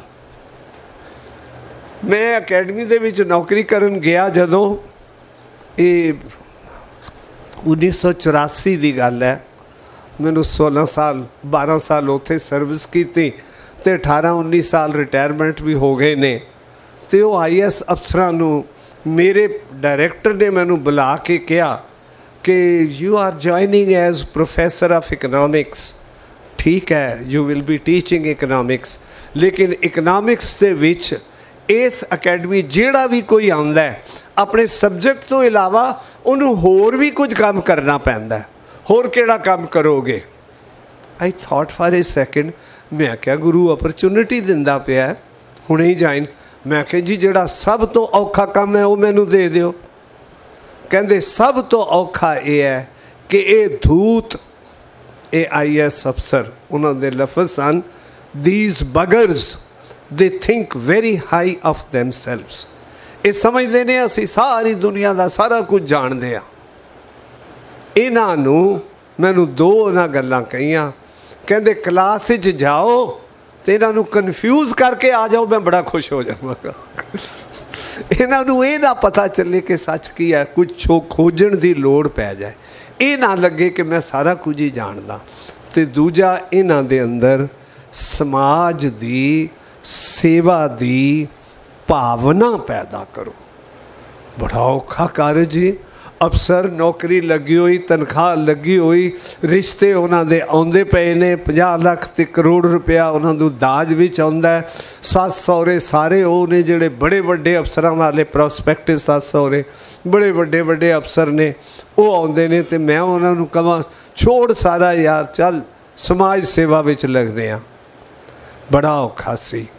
ਇਹਨਾਂ ਸਾਰਿਆਂ ਨੂੰ ਕਿਵੇਂ ਕੰਪਲਸਰੀ ਤੇ ਸਪੈਸ਼ਲ ਸੋਸ਼ਲ ਵਰਕ ਵਿੱਚ ਲਾਇਆ ਜਾਏ? ਮੇਰੇ ਉੱਤੇ ਇਹ ਬੜਾ ਵੱਡਾ ਪ੍ਰਸ਼ਨ ਸੀ। ਇਸ ਪ੍ਰਸ਼ਨ ਨੂੰ ਲੈ ਕੇ ਮੈਂ ਇੱਕ ਦਿਨ ਤਾਂ ਸੋਚਦਾ ਰਿਹਾ। ਦੂਜੇ ਦਿਨ ਮੈਂ ਕਾਰਜ ਸ਼ੁਰੂ ਕਰ ਦਿੱਤਾ। ਮੈਂ ਤੁਹਾਨੂੰ ਦੱਸਣ ਲੱਗਿਆ ਕਿਵੇਂ ਕਰੀਦਾ ਮੈਂ ਅੰਦਰ ਝਾਤ ਮਾਰੀ। ਮੈਂ ਕਿੰਨੀ ਕੁ ਸਮਾਜ ਸੇਵਾ ਕਰਦਾ ਵਾਂ। ਜੇ ਮੈਂ ਕਰਦਾ ਨਹੀਂ ਤਾਂ ਮੈਂ ਕਿਹੜੇ ਮੂੰਹ ਨਾਲ ਉਹਨਾਂ ਨੂੰ ਕਹਿ ਸਕਦਾ ਕਿ ਤੁਸੀਂ ਕਰੋ? ਮੈਂ ਉਹਨਾਂ ਨੂੰ ਲੈਕਚਰ ਕਿਉਂ ਦੇਵਾਂ? ਸੋ ਮੈਂ ਉਹਨਾਂ ਨੂੰ ਫੜ ਲਿਆ। ਮੈਂ ਜਿਹੜੇ ਚੰਗੇ 8-10 ਬੱਚੇ ਲੱਗੇ, ਮੈਂ ਕਿਹਾ, ਆਓ ਬਈ, ਅਸੀਂ ਕੰਮ ਕਰਨਾ ਕਹਿੰਦੇ, ਕੀ ਕਰਨਾ ਮੈਂ ਕਿਹਾ, ਕੰਬਲ ਚੁੱਕੋ, ਆਪਾਂ ਪਿੰਡਾਂ ਦੇ ਵਿੱਚ ਜਾਵਾਂਗੇ। ਮਸੂਰੀ ਸਰਦੀਆਂ ਦੇ ਦਿਨ ਨੇ। ਜਿੱਥੇ ਠਰਿਆ ਹੋਇਆ ਕੋਈ ਝੁੱਗੀ, ਕੋਈ ਕੁੱਲੀ ਮਿਲ ਜਾਏ ਉਹਨਾਂ ਨੂੰ ਇਹ ਕੰਬਲ ਵੰਡਾਂਗੇ। ਪੰਜ ਸੱਤ ਰਲ ਗਏ ਨਾਲ, ਸ਼ੁਰੂ ਹੋ ਗਏ। ਅਸੀਂ ਘਰਾਂ ਦੇ ਵਿੱਚ ਕਲੀ ਕਰਨੀ ਸ਼ੁਰੂ ਕਰ ਦੇ। ਆਈਐਸ ਅਫਸਰ ਨੂੰ ਇਹਨਾਂ ਪਾਸੇ ਕੰਮਾਂ ਲਾ ਕੇ, ਦੂਜਿਆਂ ਨੂੰ ਦੇਖ ਕੇ ਉਹਨਾਂ ਨੂੰ ਲੱਗਿਆ ਕਿ ਇਹ ਸ਼ਾਇਦ ਸਿਰ ਫਿਰੇ ਹੋਏ ਨੇ। ਲੇਕਿਨ ਹੌਲੀ ਹੌਲੀ within a couple of years things begin to change so ਪਹਿਲੇ ਆਪ ਕਰਦਾ। ਹੁਣ ਮੈਂ ਇਸ ਵਿਸ਼ੇ ਤੋਂ ਅੱਗੇ ਤਾਂ ਜਾਣਾ ਹੈ। ਪਹਿਲੇ ਤੁਹਾਡੇ ਨਾਲ ਗੱਲ ਕਰਨੀ ਹੈ। ਤੁਸੀਂ ਸਾਰੇ ਪ੍ਰਿੰਸੀਪਲ ਹੋ। ਤੁਸੀਂ ਸਕੂਲਾਂ ਦੀ ਮੈਨੇਜਮੈਂਟ ਦੇ ਪ੍ਰਧਾਨ ਹੋ, ਸੈਕਟਰੀ ਹੋ। ਇਹ ਦੱਸੋ, ਤੁਸੀਂ ਸਚਿਆਰ ਹੋ? ਸਿਰ ਨੀਵਾ ਕਰ ਦੇਖ। ਜੇ ਨਹੀਂ ਹੋ ਤਾਂ ਸਚਿਆਰ ਤਾਂ ਬਣਾ ਸਕੋਗੇ ਜੇ ਅੱਜ ਤੋਂ ਬਣ ਜਾਓ। ਅੱਜ ਤੋਂ ਨਿਰਣਾ ਲੈ ਲਓ ਕਿ ਮੈਂ ਉਹ ਬਣਨਾ ਪ੍ਰਿੰਸੀਪਲ ਹੀ ਕਾਇਮ ਰਹਿਣੀ ਹੈ। ਸਕੂਲ ਤੁਹਾਡੇ ਕੋਲ ਰਹਿਣਾ ਹੈ। ਲੇਕਿਨ ਮੈਂ ਉਹ ਬਣਨਾ ਜੋ ਮੈਂ ਸਟੂਡੈਂਟਸ ਨੂੰ ਕਹਿਣਾ ਕਿ ਇਹ ਕਰੋ। ਲਾਹੌਰ ਸ਼ਹਿਰ ਨੂੰ ਅੱਗ ਲੱਗ ਗਈ। ਜਲਦਾ ਪਿਆ ਉਸ ਜਲਦੇ ਹੋਏ ਸ਼ਹਿਰ ਵਿੱਚ ਲੋਕੀ ਦੇਖ ਰਹੇ ਨੇ ਹਾਇਆ ਇਹ ਕੀ ਹੋ ਗਿਆ? ਹੁਣ ਕੀ ਬੜੇਗਾ ਇਹ ਤਾਂ ਸਵਾਹ ਹੋ ਜਾਣਾ ਇੱਕ ਸਿੱਖ ਇੱਕ ਬਾਲਟੀ ਪਾਣੀ ਦੀ ਭਰ ਕੇ ਲਿਆਏ ਤੇ ਉਹਦੇ ਉੱਤੇ ਪਾਈ ਜਾਏ। ਫਿਰ ਆਏ, ਫਿਰ ਪਾਣੀ ਦੀ ਬਾਲਟੀ ਪਾ ਜਾਏ। ਕਿਸੇ ਨੇ ਕਿਹਾ, ਪਾਗਲ ਹੈ, ਅੱਗ ਬੁੱਝ ਜਾਏਗੀ ਤੇਰੇ ਕਹਿਣ ਤੇ। ਕਹਿੰਦਾ, ਮੈਨੂੰ ਨਹੀਂ ਪਤਾ। ਮੈਨੂੰ ਇਹ ਪਤਾ ਹੈ, ਜਿਹੜੀ ਮੇਰੀ ਡਿਊਟੀ ਹੈ, ਉਹ ਮੈਂ ਕਰ ਰਿਹਾ ਕਿ ਨਹੀਂ। ਮੈਂ ਇਹ ਕਰ ਛੋਟਾ ਜਿਹਾ ਮੈਂ ਕੇਸਿਸ ਇਸ ਲਈ ਦੇ ਰਿਹਾ ਹਾਂ, ਉਹ ਨਾ ਸਮਝਣਾ ਕਿ ਇਹ ਸਿਰਫ ਉਤਲੀਆਂ ਗੱਲਾਂ ਨੇ। ਇੱਕ ਡਰਾਈਵਰ ਸੀ, ਮਸੂਰੀ ਦੇ ਐਕਸਪੀਰੀਅੰਸ ਦਾ ਹੀ ਦੱਸਦਾ। ਬੱਸ ਉੱਪਰ ਚੜਦੀ ਹੈ ਟੇਰਾਦੂਨ ਤੋਂ ਮਸੂਰੀ ਆਉਂਦੀ ਹੈ। ਪਹਿਲੀ ਵਾਰ ਮੈਂ ਬੱਸ ਦੇ ਵਿੱਚ ਚੜਿਆ ਸਰਦਾਰ ਡਰਾਈਵਰ ਦੇਖਿਆ, ਉਹ ਬੈਠੇ ਹੋਏ। ਸਡਨਲੀ ਪੜਾਈ ਚੜਾਈ ਦੇ ਉੱਤੇ ਚੜਦੀ ਚੜਦੀ ਉਹਨੇ ਐਂਜ ਬ੍ਰੇਕ ਮਾਰੀ, ਪਟਕ, ਔਰ ਸਾਰੀ ਉੱਥੇ ਹੀ ਖੜ ਗਈ ਉਹ ਇੱਕ ਅੱਖਰ ਨਹੀਂ ਬੋਲੇ, ਕੁਝ ਉਹਨਾਂ ਕਿਹਾ ਨਹੀਂ, ਬਸ ਖੜ ਗਈ ਡਰਾਈਵਰ ਚੁੱਪ, ਕੰਡਕਟਰ ਰੌਲਾ ਪਾ ਦਿੱਤਾ, ਬਾਕੀ ਸਵਾਰੀਆਂ ਨੇ ਰੌਲਾ ਪਾਤੀਆਂ ਉਹ ਬਾਬਾ ਜੀ ਨੇ ਨਹੀਂ ਚਲਾਣੀ, ਬੀੜੀ, ਸਿਗਰਟ ਬੰਦ ਕਰੋ, ਇਹ ਗਾ- ਇਹ ਨਹੀਂ ਜੇ ਚੱਲਣੀ, ਇਹ ਬਸ ਅੱਗੇ ਨਹੀਂ ਚਲੇਗੀ। ਕਿਉਂਕਿ ਸਿਗਰਟ ਪੀਣਾ ਮਨਾ ਹੈ ਤੇ ਉਹਨਾਂ ਨਹੀਂ ਚੱਲਣਾ। ਯੂ ਡੂ ਯੋਰ ਟਾਸਕ ਨਹੀਂ ਤੇ ਮੈਂ ਨਹੀਂ ਕਰਦਾ। ਔਰ ਉਹ ਬਾਬਾ ਜੈਵ ਦੇ ਜੈਦੇਵ ਸਿੰਘ ਜੀ, ਮੇਰੇ ਉਹਨਾਂ ਆਈਡੀਅਲ ਵਿਅਕਤੀਆਂ ਵਿੱਚੋਂ ਨੇ, ਜਿਨ੍ਹਾਂ ਨੂੰ ਮੈਂ ਹਿਰਦੇ ਦੀ ਡੁੰਗਾਉਣਾ ਵਿੱਚ ਰੱਖਿਆ ਹੋਇਆ। ਡੀਜੀਪੀ ਵੀ ਨੇ ਉਹਦੇ ਵਿੱਚ ਉਹਦੇ ਵਿੱਚ ਬੱਸ ਦੇ ਡਰਾਈਵਰ ਵੀ ਨੇ। ਉਹਦੇ ਵਿੱਚ ਅੱਜ ਕੱਲ ਮੇਰੇ ਘਰ, ਮੈਂ, ਸਾਡੇ ਕੰਸਟਰਕਸ਼ਨ ਚੱਲ ਰਹੀ ਹੈ। ਇੱਕ ਮਜ਼ਦੂਰ ਲੱਗਿਆ ਹੋਇਆ ਹੈ। 350 ਰੁਪਏ ਦਿਹਾੜੀ, ਬਿੰਦਰ ਉਹਦਾ ਨਾਂ ਹੈ। ਬਾਕੀ ਪਤਾ ਨਹੀਂ ਕਿਸ ਵੇਲੇ ਆਉਂਦੇ, ਉਹ ਸਵੇਰੇ ਆ ਜਾਂਦਾ ਹੈ। 9 ਦਾ ਟਾਈਮ ਹੈ 8:30 ਹੀ ਆ ਜਾਂਦਾ ਆਪਣਾ ਕੰਮ ਸ਼ੁਰੂ ਕਰ ਦਿੰਦਾ ਹੈ, ਸ਼ਾਮੀ 6:30 ਤੱਕ ਜਾਂਦਾ ਜੇ ਉਹਨੂੰ ਇਨਾਮ ਵੀ ਦਿਆਂ ਤੇ ਕਹਿੰਦਾ ਕਾਦੀ ਲੋੜ ਹੈ ਜੀ? ਕਿਉਂ ਕ ਦਿੰਦੇ ਹੋ ਜੀ? ਹਰ ਵੇਲੇ ਹੱਸਦਾ ਰਹਿੰਦਾ ਕਦੀ ਕੋਈ ਕੰਪਲੇਂਟ ਨਹੀਂ ਕੀਤੀ, ਕਦੀ ਉਹਨੇ ਇਹ ਨਹੀਂ ਕਿਹਾ, ਮੇਰੇ ਵਾਸਤੇ ਉਹ ਇੱਕ ਆਈਡੀਅਲ ਸਚਿਆਰ ਵਿਅਕਤੀ ਹੈ, ਉਹ ਸਿੱਖ ਨਹੀਂ ਹੈ, ਹਾਲੇ ਉਹ ਬਾਣੀ ਪੜਨ ਵਾਲਾ ਨਹੀਂ ਹੈ, ਲੇਕਿਨ ਉਹਦੇ ਅੰਦਰ ਉਹ ਜਿਹੜੀ ਸਚਿਆਰਤਾ ਦੀ ਕਣੀ ਹੈ ਗੁਰਬਾਣੀ ਦੇ ਜੀਵਨ ਵਾਲੀ ਜਿਹੜੀ ਕਣੀ ਹੈ, ਮੈਂ ਤੇ ਉਹਦੇ ਤੋਂ ਸਿੱਖਿਆ ਲੈਣੀ ਹੈ ਨਾ। ਮੈਂ ਤੇ ਉਹਦੇ ਤੋਂ ਉਹ ਪ੍ਰਾਪਤ ਕਰਨਾ ਹੈ। ਇਹੋ ਜਿਹੇ ਵਿਅਕਤੀਆਂ ਤੋਂ ਕੁਝ ਪ੍ਰਾਪਤ ਕਰੋ। ਜੇ ਤੁਸੀਂ ਸੱਚੀ ਮੁੱਚੀ ਚਾਹੁੰਦੇ ਹੋ ਕਿ ਤੁਹਾਡਾ ਸਕੂਲ ਤਰੱਕੀ ਕਰੇ, ਸਚਿਆਰ ਜੀਵਨ ਵੱਲ, ਸਿੱਖੀ ਜੀਵਨ ਵੱਲ, ਲਿਆਕਤ ਵੱਲ, ਹੱਥ ਜੋੜ ਕੇ ਬੇਨਤੀ ਹੈ, ਆਪਣੇ ਤੋਂ ਸ਼ੁਰੂ ਕਰੋ। ਵਿਦਿਆਰਥੀਆਂ ਤੋਂ ਨਹੀਂ। ਆਪਣੇ ਤੋਂ ਸ਼ੁਰੂ ਕਰੋ, ਤੁਹਾਡੀ ਲਾਗ ਤੁਹਾਡੇ ਟੀਚਰਸ ਨੂੰ ਲੱਗੇਗੀ। ਮੈਂ ਇੱਕ ਤੁਹਾਨੂੰ ਰਾਹ ਨਹੀਂ ਦਿਖਾ ਰਿਹਾ, ਤੁਹਾਨੂੰ ਇੱਕ ਜੀਵਨ ਦੀ ਮੰਜ਼ਲ ਦੱਸ ਰਿਹਾ ਕਿ ਜੋ ਸੁਖ, ਜੋ ਰਸ, ਜੋ ਫਾਇਦਾ, ਜੋ ਮਾਣ, ਜੋ ਪਿਆਰ, ਜੋ ਵਾਹਿਗੁਰੂ ਦੀ ਕਿਰਪਾ ਆਪਣੀ ਬਾਹ ਗੁਰੂ ਨੂੰ ਫੜਾਉਣ ਵਿੱਚ ਹੈ, ਉਹ ਦੁਨੀਆ ਦੇ ਵਿੱਚ ਕਿਸੇ ਥਾਂ ਤੇ, ਕਿਸੇ ਵੇਲੇ ਕਦੀ ਕੁਝ ਨਹੀਂ ਮਿਲ ਸਕਦਾ। ਟੈਗੋਰ ਨੇ ਕਿਹਾ ਟੈਗੋਰ ਨੇ ਲਿਖਿਆ setting sun cried who will brighten this earth when I M gone ਮੈਂ ਜਦੋਂ ਚਲਾ ਗਿਆ ਸੂਰਜ ਨੇ ਕਿਹਾ ਛੁਪਦੇ ਹੋਏ ਇਸ ਧਰਤੀ ਤੇ ਚਾਨਣ ਕੌਣ ਕਰੇਗਾ ਲਿਖਦਾ ਹੈ ਲਿਟਲ ਅਰਥਨ ਲੈਂਪ ਸੈਡ ਇੱਕ ਛੋਟੇ ਜਿਹੇ ਮਿੱਟੀ ਦੇ ਦੀਵੇ ਨੇ ਕਿਹਾ sir I will try what I can ਜੋ ਮੇਰੇ ਤੋਂ ਹੋ ਸਕਦਾ ਉਹ ਮੈਂ ਕਰਾਂਗਾ। ਮੇਰੀ ਬੇਨਤੀ ਇਹ ਹੈ, ਆਪਣੇ ਸਕੂਲ ਵਿੱਚ ਆਪਣੇ ਦੀਵੇ ਬਣ ਕੇ ਆਪਣੀ ਲੋ ਅੱਜ ਤੋਂ ਜਗਾਣੀ ਸ਼ੁਰੂ ਕਰ ਦਿਓ। ਉਹਦੇ ਜੋਤ ਜਿਹੜੀ ਹੈ, ਉਹ ਗੁਰੂ ਨਾਨਕ ਪਾਏਗਾ। ਤੁਸੀਂ ਤਾਂ ਬੱਤੀ ਲਾਉਣੀ ਹੈ, ਉਹ ਆਪੇ ਤੇਲ ਪਾਈ ਜਾਏਗਾ। ਦੀਵਾ ਬਲੇ ਅੰਧੇਰਾ ਜਾਏ। ਜੋਤ ਗਿਆਨ ਦੀ ਉਹਦੇ ਅੰਦਰ ਉਹ ਪਾ ਦੇਗਾ। ਤੁਹਾਡੇ ਅੰਦਰੋਂ ਆਪੇ ਆ ਜਾਏਗਾ ਕਿਧਰੋਂ। ਇਹ ਨਾ ਸੋਚਣਾ ਕਿਹੜਾ ਸੰਤ ਆ ਕੇ ਮੈਨੂੰ ਥਾਪੜਾ ਦੇਗਾ ਤੇ ਹੋਏਗਾ। ਇਹ ਨਾ ਸੋਚਣਾ ਮੈਂ ਕੀ ਕਰਨਾ ਤੁਸੀਂ ਤੇ ਸਿਰਫ ਸਿਰ ਨਿਵਾਉਣਾ ਹੈ। ਗੁਰੂ ਅੱਗੇ ਕਿ ਇਹ ਕਾਰਜ ਮੈਂ ਸੇਵਾ ਦੇ ਤੌਰ ਤੇ ਕਰਨਾ ਤਾਂ ਮੈਂ ਉਥੇ ਅਕੈਡਮੀ ਦੇ ਵਿੱਚ ਸੇਵਾ ਸ਼ੁਰੂ ਕਰ ਦਿੱਤੀ। ਸੋਸ਼ਲ ਸਰਵਿਸ ਕੰਪਲਸਰੀ ਨਹੀਂ ਬਣਾਈ। ਤੁਹਾਨੂੰ ਕਹਿ ਰਿਹਾ, ਇਹਨੂੰ ਕੰਪਲਸਰੀ ਤੇ ਸਪੈਸ਼ਲ ਵਰਕ ਬਣਾ ਦਿਓ, ਸਪੈਸ਼ਲ ਰੈਕਗਨੀਸ਼ਨ ਦਿਓ। ਤੀਜੇ ਦਿਨ, ਚੌਥੇ ਦਿਨ, cabinet secretary government of India ਦੇ ਆ ਗਏ ਤੇ ਉਹਨਾਂ ਦਾ ਫਾਰਮਲ ਡਿਨਰ ਸੀ ਤੇ ਮੈਨੂੰ ਮੇਰੇ ਡਾਇਰੈਕਟਰ ਨੇ ਕਿਹਾ ਕਿ ਉਹ ਸਾਰਿਆਂ ਨੇ ਸ਼ਾਮਿਲ ਹੋਣਾ, ਤੂੰ ਵੀ ਆਉਣਾ। ਮੈਂ ਕਿਹਾ ਜੀ, ਮੈਂ ਤੇ ਨਹੀਂ ਸ਼ਾਮਿਲ ਹੋ ਸਕਦਾ। ਕਹਿੰਦੇ, ਕਿਉਂ? ਮੈਂ ਆਖਿਆ ਜੀ, ਮੈਂ ਪਿੰਡਾਂ ਦੇ ਵਿੱਚ ਬੱਚਿਆਂ ਨੂੰ ਲੈ ਕੇ ਜਾਣਾ ਫਿਕਸ ਕੀਤਾ ਹੋਇਆ ਤੇ ਉੱਥੇ ਗਰੀਬ ਉਡੀਕ ਦੇ ਹੋਣਗੇ, ਅਸੀਂ ਉਹਨਾਂ ਨੂੰ ਨਹੀਂ ਛੱਡ ਸਕਦੇ। ਹੌਲੀ ਜੀ ਬਸ ਬੋਲਿਆ, ਕਹਿੰਦਾ, ਅੱਛਾ, ਦੇਖ ਲਾਂਗੇ। ਮੈਂ ਚਲਾ ਗਿਆ, ਮੇਰੀ ਪਤਨੀ ਨੇ ਮੈਨੂੰ ਕਿਹਾ, ਤਿੰਨ ਚੱਕਰ ਉਹ ਸਾਡੇ ਘਰ ਆਪ ਪੈਦਲ ਮਾਰ ਕੇ ਗਿਆ ਡਾਇਰੈਕਟਰ ਵੀ ਇਹ ਵਾਕਈ ਸੱਚ ਕਹਿੰਦਾ, ਕਿਧਰੇ ਘਰ ਹੀ ਨਾ ਬੈਠਾ ਹੋਇਆ ਰਜਾਈ ਲੈ ਕੇ, ਕੋਈ ਹੋਰ ਗੈਸਟ ਤਾਂ ਨਹੀਂ ਆਏ ਪਏ। And since that day he became an intimate friend of mine ਤੇ ਅਗਲੀ ਵਾਰੀ ਕੈਬਨਿਟ ਸੈਕਟਰੀ ਆਇਆ, ਉਹਦੇ ਘਰ ਉਹਨਾਂ ਨੂੰ, ਉਹਨੇ ਜਿਹੜੀ ਰੋਟੀ ਖਿਲਾਣੀ ਸੀ, ਸਿਰਫ ਉਹ ਸੀ ਤੇ ਮੈਂ ਸੀ, ਅਸੀਂ ਰਲ ਕੇ ਰੋਟੀ ਖਾਈ। ਮੈਂ ਤੁਹਾਨੂੰ ਮਾਣ ਦੀ ਗੱਲ ਕੀਤੀ ਹੈ, ਕੋਈ army the general, commander in chief, president, vice president, secretary, chief secretary, chief minister, ਐਸੇ ਨਹੀਂ ਜਿਨ੍ਹਾਂ ਨਾਲ ਰਲ ਕੇ ਮੈਂ ਬੈਠ ਕੇ ਰੋਟੀ ਨਾ ਖਾਈ ਹੋਵੇ।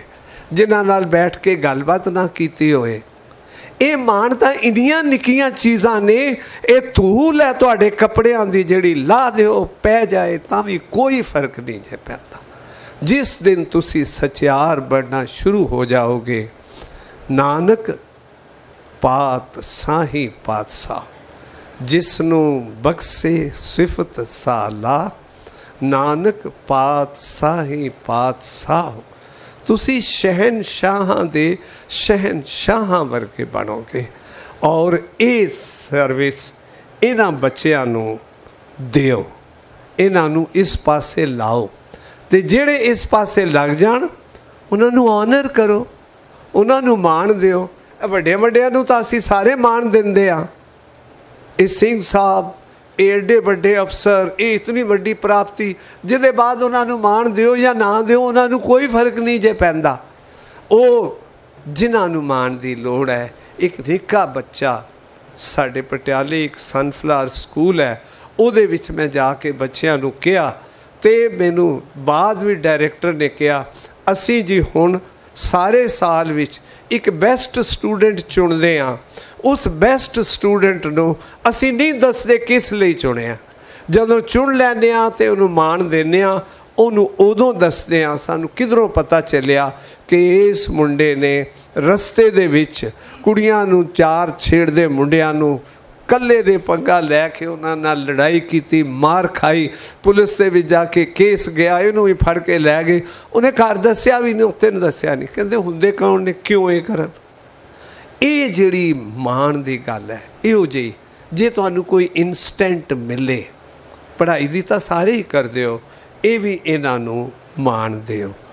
ਗੁਰੂ ਗੋਬਿੰਦ ਸਿੰਘ ਜੀ ਨੇ ਉਸ ਵਿਅਕਤੀ ਤੋਂ ਪਾਣੀ ਲੈ ਕੇ ਗਲਾਸ ਪੀਣ ਲੱਗਿਆ ਪੁੱਛ ਲਿਆ ਉਹ ਕਾਕਾ, ਤੇਰੇ ਹੱਥ ਬੜੇ ਗੋਰੇ ਨੇ, ਇਹ ਕੀ ਕੀਤਾ ਹੀ ਕਹਿੰਦਾ, ਜੀ, ਮੈਂ ਕਦੀ ਅੱਜ ਤੱਕ ਕੀਤਾ ਹੀ ਨਹੀਂ, ਉਸ ਤਾਂ ਰਈਸਾਂ ਦੇ ਮੁੰਡਿਆਂ, ਤੇ ਇਹ ਪਾਣੀ ਤਾਂ ਪਹਿਲੀ ਵਾਰ ਤੁਸੀਂ ਮੰਗਿਆ, ਸੇਵਾ ਕੀਤੀ, ਲੈ ਕੇ ਹੇਠਾਂ ਸੁੱਟ ਦਿੱਤਾ। ਕਹਿੰਦੇ, ਤੇਰਾ ਪਾਣੀ ਪ੍ਰਵਾਨ ਨਹੀਂ ਹੈ। ਆਪਣੇ ਘਰ ਆਪ ਕੰਮ ਕਰੋ। ਬੱਚਿਆਂ ਨੂੰ ਜਿਹੜੇ ਕਰਦੇ ਨੇ ਉਹਨਾਂ ਨੂੰ ਹੈਲਪ ਕਰੋ। ਆਪਣੀ ਪਤਨੀ ਦੀ ਤੁਸੀਂ ਵੀ ਹੈਲਪ ਕਰੋ। ਜ਼ਰੂਰੀ ਨਹੀਂ ਕਿ ਚਕਲਾ ਵੇਲਣਾ ਉਸੇ ਨੇ ਬਣਾਣਾ ਆਦਮੀ ਦਾ ਕੰਮ ਹੀ ਨਹੀਂ ਕਿ ਫੁਲਕਾ ਉੱਤੇ ਲਾਏ। ਉਹ ਸਾਰੇ ਰਸੋਈਏ ਆਦਮੀ ਹੁੰਦੇ ਜੇ। ਜਨਾਨੀਆਂ ਨਹੀਂ ਹੁੰਦੀਆਂ। ਕੋਈ ਕਿਸੇ ਦੇ ਉੱਤੇ। ਕਦੀ ਕਰਕੇ ਤੇ ਦੇਖੋ, ਕੋਲ ਖਲੋ ਕੇ ਤਾਂ ਦੇਖੋ। ਦੋਨਾਂ ਪਾਸੇ ਇੱਕ ਦੂਜੇ ਦੀ ਜਿਤਨੀ ਹੈਲਪ ਕਰੋਗੇ। ਆਈਐਸ ਸਟੂਡੈਂਟ ਪੜਨ ਆਉਂਦੇ ਸਨ ਜਦੋਂ ਮੈਂ ਰਿਟਾਇਰ ਹੋ ਕੇ ਫਿਰ ਸਟੂਡੈਂਟਸ ਤਿਆਰ ਕਰਦਾ ਰਿਹਾ ਉਹਨਾਂ ਨੂੰ ਇਮਤਿਹਾਨ ਵਿੱਚ ਜਾਣ ਵਾਸਤੇ। ਤੇ ਮੈਂ ਅਜੀਬ ਜੇ ਕੁਐਸਚਨ ਬੜਾ ਔਖਾ ਦਾਖਲ ਕਰਦੇ ਸਾਂ। ਮੈਂ ਸਿਰਫ 8-10 ਸਟੂਡੈਂਟਸ ਦਾਖਲ ਕਰਦੇ ਸਾਂ। ਗੁਰੂ ਮੇਰ ਨਾਲ 15 ਸਾਲਾਂ ਵਿੱਚ 35 ਲੜਕੇ ਸਾਡੇ ਆਈ ਹੈ ਸਿਰਫ ਉਸ ਛੋਟੇ ਜਿਹੇ ਇੰਸਟੀਚਿਊਟ ਪਟਿਆਲੇ ਤੋਂ ਆ ਗਏ ਸੀ। ਇਹ ਮਾਣ ਦੀ ਇਸ ਲਈ ਨਹੀਂ, ਮੈਂ ਉਹਨਾਂ ਨੂੰ ਆ ਕੇ ਪੁੱਛਦਾ ਇਹ ਸਾਂ, ਜਦੋਂ ਦਾਖਲ ਹੋਣਾ ਫੀਸ ਅਸੀਂ ਲੈਂਦੇ ਨਹੀਂ ਸਾਂ, ਮਿਹਨਤ ਕਰਾਉਂਦੇ ਸਾਂ। ਮੈਂ ਕਿਹਾ, ਇਹ ਦੱਸੋ, ਮੈਂ ਵੀ ਨਹੀਂ ਸੀ ਫੀਸ ਲੈਂਦੇ। ਟੀਚਰ ਬਹੁਤੇ ਮੇਰੇ ਉਹ ਸਨ, ਜਿਹੜੇ ਮੇਰੇ ਕੋਲੀਗ ਰਹੇ ਸਨ। ਇੱਕ ਵਾਰ ਬੁਲਾਇਆ, ਦੋ ਵਾਰ ਲੈਕਚਰ ਦਿੱਤੇ। ਅਸੀਂ 500 ਹਜ਼ਾਰ ਆਫਰ ਕਰਸਨ ਕੈਂਸਰ ਬਥੇਰਾ ਦਿੱਤਾ, ਕੋਈ ਗੱਲ ਨਹੀਂ। ਡਾਕਟਰ ਸਾਹਿਬ, ਤੁਸੀਂ ਕੰਮ, ਸੇਵਾ ਆਪ ਲੱਗੇ ਹੋ ਸਾਨੂੰ ਵੀ ਲਾਈ ਰੱਖੋ। ਤੋਂ ਉਹ, ਉਹਦੇ ਵਿੱਚ ਮੈਂ ਉਹਨਾਂ ਨੂੰ ਕੁਐਸਚਨ ਇਹੋ ਪੁੱਛਦਾ ਸਾਂ। ਮੁੰਡਾ ਆਇਆ, ਆ ਕੇ ਤੇ ਮੈਂ ਕਿਹਾ, ਵਜਨ ਕਿੰਨਾ ਹੈ? ਕਹਿੰਦਾ, ਜੀ 75 ਕਿਲੋ। ਮੈਂ ਕਿਹਾ, ਤੂੰ ਆਈ ਸਵਾ ਕਰੇਗਾ? ਇੱਥੇ ਮਿਹਨਤ ਕਰਨੀ ਪੈਣੀ ਹੈ ਇਹਨੂੰ ਪਹਿਲੇ 60 62 ਕਿਲੋ ਲਿਆ। ਪਤਲਾ ਹੋ। ਸਵੇਰੇ ਉੱਠ ਕੇ ਐਕਸਰਸਾਈਜ਼ ਕਰ। ਤਾਂ ਇੱਕ ਨੂੰ ਮੈਂ ਪੁੱਛਿਆ, ਦੱਸ, ਤੇਰੇ ਪਿਤਾ ਜੀ ਕੀ ਕਰਦੇ ਨੇ? ਬਿਮਾਰ ਨੇ? ਮੈਂ ਕਿਹਾ, ਜੀ ਕਾਦੀ ਬਿਮਾਰੀ ਹੈ ਹਾਰਟ ਦਾ ਪ੍ਰੋਬਲਮ ਹੈ ਮੈਂ ਕਿਹਾ, ਅੱਛਾ, ਹਾਰਟ ਦੀ ਬੀਟ ਕਿੰਨੀ ਹੁੰਦੀ ਹੈ ਤਾਂ ਪਤਾ ਨਹੀਂ। ਮੈਂ ਕਿਹਾ ਬਲੱਡ ਪ੍ਰੈਸ਼ਰ ਕੀ ਹੁੰਦਾ ਕਿੰਨਾ ਨਾਰਮਲ ਤੇ ਮੈਂ ਕਿਹਾ, ਤੂੰ ਕਦੀ ਬਾਪ ਦੇ ਕੋਲ ਬੈਠ ਕੇ ਉਹਦੀ ਰੀਡਿੰਗ ਹੀ ਨਹੀਂ ਲਈ? ਤੂੰ ਕੀ ਅਫਸਰ ਬਣ ਕੇ ਕਰੇਗਾ? ਤੂੰ ਆਪਣੇ ਮਾਂ-ਬਾਪ ਦੀ ਕੀ ਸੇਵਾ ਕਰੇਗਾ? I used to do them. Make them compulsory do it it's not easy ਲੇਕਿਨ ਜਦੋਂ ਤੁਸੀਂ ਕੁਝ ਨਹੀਂ ਉਸ ਇੰਸਟੀਚਿਊਟ ਤੋਂ ਲੈ ਰਹੇ, ਉਹਨੂੰ ਦੇ ਰਹੇ ਹੋ, ਤਾਂ ਉਹ ਜ਼ਰੂਰ ਤੁਹਾਡੇ ਤੋਂ ਲੈਣਗੇ। ਸੋ ਮੇਰੇ ਪਿਆਰਿਓ ਕੋਚਿੰਗ ਵੀਕ ਸਟੂਡੈਂਟਸ ਦੀ, ਇਹਨਾਂ ਤੋਂ ਕਰਵਾਓ, ਜਿਹੜੇ ਆਲਰੇਡੀ ਲਾਇਕ ਸਟੂਡੈਂਟਸ ਤੁਸੀਂ ਖੋਜ ਲਏ ਨੇ, ਉਹਨਾਂ ਨੂੰ ਰਿਵਾਰਡ ਦਿਓ, ਉਹਨਾਂ ਨੂੰ ਤਨਖਾਹ ਦਿਓ। ਤੁਸੀਂ ਹੈਰਾਨ ਹੋਵੋਗੇ, ਮੇਰਾ ਗੁਰ ਕੀ ਸੀ ਆਈਐਸ ਬਣਾਉਣ ਦਾ, ਤੁਸੀਂ ਪੁੱਛ ਲਓ ਜੇ। ਜਿਹੜੇ ਚਾਰ ਮੁੰਡੇ ਆ ਗਏ ਇੰਟਰਵਿਊ ਵਾਲੇ ਹੋਣੀ ਹੈ। ਮੈਂ ਉਹਨਾਂ ਨੂੰ ਕਹਿੰਦਾ ਸਾਂ ਇੰਟਰਵਿਊ ਦੀ ਤਿਆਰੀ ਤਾਂ ਕਰਾਉਣੀ ਹੈ। ਪਹਿਲੇ ਜੋ ਜੋ ਪੜਿਆ ਉਹ ਅਗਲੀ ਕਲਾਸ ਨੂੰ ਤੁਸੀਂ ਪੜਾਓ ਮੈਂ ਕੋਲ ਬੈਠ ਜਾਂਦਾ ਸਾਂ। ਆਪਣੇ ਨੋਟਸ ਸ਼ੇਅਰ ਕਰੋ ਇਹਨਾਂ ਦੇ ਨਾਲ। ਇਹਨਾਂ ਨਾਲ ਗੱਲਬਾਤ ਕਰੋ। ਜਿਤਨਾ ਉਹ ਅੱਛਾ ਪੜਾ ਸਕਦੇ ਸਨ। ਕੋਈ ਹੋਰ ਟੀਚਰ ਯੂਨੀਵਰਸਿਟੀ ਦਾ ਪ੍ਰੋਫੈਸਰ ਨਹੀਂ ਉਹਨਾਂ ਤਾਂ ਗੋਡੇ ਭੰਨ ਕੇ ਪੜਿਆ ਹੋਇਆ ਹੁੰਦਾ ਸੀ। ਉਹਨਾਂ ਨੂੰ ਸਾਰਾ ਕੁਝ ਪਤਾ ਸੀ। ਕਿਹੜੀ ਕਿਤਾਬ ਵਿੱਚ, ਕਿਹੜੇ ਪੇਜ ਤੇ ਕਿੱਥੇ ਲਿਖਿਆ ਹੋਇਆ ਇਹ ਟੂਕ ਲੈ ਲੈ, ਇਹ ਉੱਥੋਂ ਕੰਮ ਆਏਗੀ। This is how we did it ਤੁਸੀਂ ਇਹਨਾਂ ਨੂੰ ਕਰਾਓ ਰਿਵਾਰਡ ਦਿਓ। ਔਰ ਉਹਨਾਂ ਨੂੰ ਮੈਂ ਪੂਰੀ ਉਹ ਤਨਖਾਹ ਦਿੰਦਾ ਸਾਂ, ਜਿਹੜੀ ਉਹਨਾਂ ਤੋਂ ਫੀਸ ਨੋਮੀਨਲ ਫੀਸ ਅਸੀਂ ਲੈਂਦੇ ਸਾਂ। ਦਿੱਲੀ ਦੇ ਵਿੱਚ ਉਹਦੀ ਫੀਸ 35000 ਹੁੰਦੀ ਸੀ। ਅਸੀਂ 2000 ਲੈਂਦੇ ਸਾਂ। ਇਹ 2000 ਮੈਂ ਉਹ ਚਾਰ ਲੈਕਚਰ ਲੈਣ ਦੇ ਵਾਪਸ ਮੋੜ ਦਿੰਦਾ ਸਾਂ। ਇਹ 2000 ਤੁਹਾਡੇ ਹੋ ਗਏ। 500 ਰੁਪਿਆ ਲੈਕਚਰ ਅਸੀਂ ਯੂਨੀਵਰਸਿਟੀ ਵਾਲੇ ਨੂੰ ਦਿੰਨੇ ਆ, ਤੁਹਾਨੂੰ ਵੀ ਦਿੱਤਾ। ਵੀ ਵਾਰ ਰਨਿੰਗ ਕਿ ਅਸੀਂ ਮਨੀ ਲਈ ਨਹੀਂ ਕਰਨਾ। ਤੁਸੀਂ ਸਾਰੇ ਜਿਹੜੇ ਕੰਮ ਕਰ ਰਹੇ ਹੋ, ਉਹਦੇ ਵਿੱਚ ਇਹ ਇਨਰ ਕੁਆਲਿਟੀਆਂ ਐਂਡ ਕੈਰੈਕਟਰ ਬਣਾਓ। ਮੈਰਿਟ ਤਾਂ ਸਾਰੇ ਲੈਂਦੇ ਨੇ। ਮੈਰਿਟ ਤਾਂ ਸਾਰੇ ਗਿਣਦੇ ਨੇ। ਸਾਰੇ ਕਹਿੰਦੇ ਨੇ, ਅਤ ਲਾਇਕ ਵਿਦਿਆਰਥੀ ਹਾਈਲੀ ਡਿਸਟਿੰਗੁਇਸ਼ਡ ਪਰਸਨ ਲੇਕਿਨ ਇਹ ਸਾਰੇ ਦੇ ਸਾਰੇ ਬੜੇ ਵੱਡੇ ਅਫਸਰ, ਬੜੀ ਵੱਡੀ ਪੋਜੀਸ਼ਨ ਤੇ ਗੁਰੂ ਜੀ ਕਹਿੰਦੇ ਨੇ, ਵੱਡੇ ਵੱਡੇ ਜੋ ਦੀਸੈ ਲੋਗ, ਤਿਨ ਕੋ ਵਿਆਪੈ ਚਿੰਤਾ ਰੋਗ। ਅੱਗੇ ਪ੍ਰਸ਼ਨ ਹੈ ਇਹ ਨਾ ਸਮਝਣਾ, ਬਹੁਤੇ ਗਲਤ ਪੜ ਜਾ ਕੌਣ ਵੱਡਾ? ਪ੍ਰਸ਼ਨ ਹੈ ਮਾਇਆ ਵਡਿਆਈ ਨਹੀਂ, ਸੋ ਵੱਡਾ ਜਿਹੜਾ ਨਾਮ ਦੇ ਨਾਲ ਚਿਤ ਲਾਏ। ਗੁਰਬਾਣੀ ਚ ਪ੍ਰਸ਼ਨ ਚਿੰਨ ਨਹੀਂ ਵਰਤਿਆ ਹੋਇਆ, ਲੇਕਿਨ ਜਿੱਥੇ ਤੁਸੀਂ ਆਪਣੀ ਅਨੁਭਵ ਨਾਲ ਦੇਖੋਗੇ ਕਿਵ ਸਚਿਆਰਾ ਹੋਈ ਹੈ ਕਿਵ ਕੂੜਾ ਟੁੱਟੈ ਪਾਲ? ਹੁਕਮ ਰਜਾਈ ਚੱਲਣਾ ਨਾਲ ਉਹਦਾ ਅਨਸਰ ਦਿੱਤਾ ਹੋਇਆ। ਸੋ ਇਹ inner qualities and character build ਕਰਕੇ ਇਹਨਾਂ ਬੱਚਿਆਂ ਨੂੰ ਕੁਝ ਦਿਓ। ਇਹਨਾਂ ਦੇ ਵਿੱਚ ਹਿਊਮਿਲਿਟੀ ਨਹੀਂ ਜੇ। ਇਹ ਹੌਟੀ ਹੁੰਦੇ ਨੇ। ਇਹ ਬੜੇ ਜ਼ਿਆਦਾ ਹੰਕਾਰੀ ਹੁੰਦੇ ਨੇ। ਇਹਨਾਂ ਤੋਂ ਹਟਾਓ।